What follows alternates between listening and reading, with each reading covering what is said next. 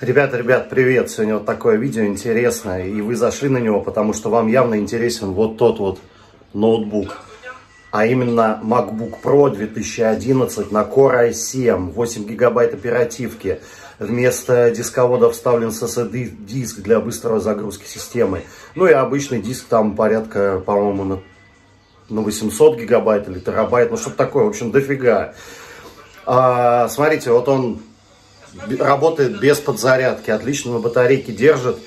Я как-то смотрел, э, не знаю, YouTube и все. В общем, он у меня до двух часов проработал. Хоть и батарейка там, ну, не новая, но работает отлично. Порядка два часа держит. Вообще отлично. Wi-Fi, вот сейчас у меня раздача интернета с телефона. И отлично работает. Ну, от роутера тоже, как хотите. Звук. Ядерцы, 38. Столько бывает вообще?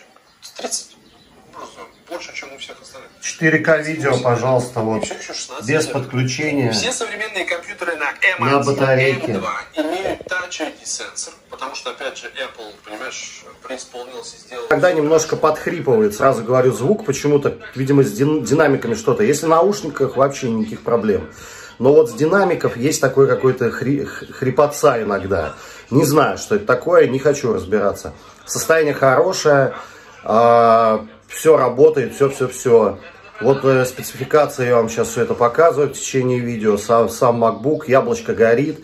Зарядка, кстати, новая. Я покупал отдельно с самой максимальной мощностью. Потому что предыдущая зарядка, она тоже, кстати, есть. Но она была погрызана собакой. Там провод такой опасный, в общем. То работает, то не работает. Поэтому зарядка совершенно новая. Ну что еще сказать, работает отлично, в целом идеально для MacBook, я его использую для музыкальных программ в основном. Мне очень нравится GarageBand, прямо не могу. Жаль, что на Windows нет такой программы. Так бы на Windows просто пользовался. GarageBand у меня отлично. Я подключаю звуковую карту, гитару, либо микрофон и все уже записываю. Всем огромной удачи, обязательно увидимся.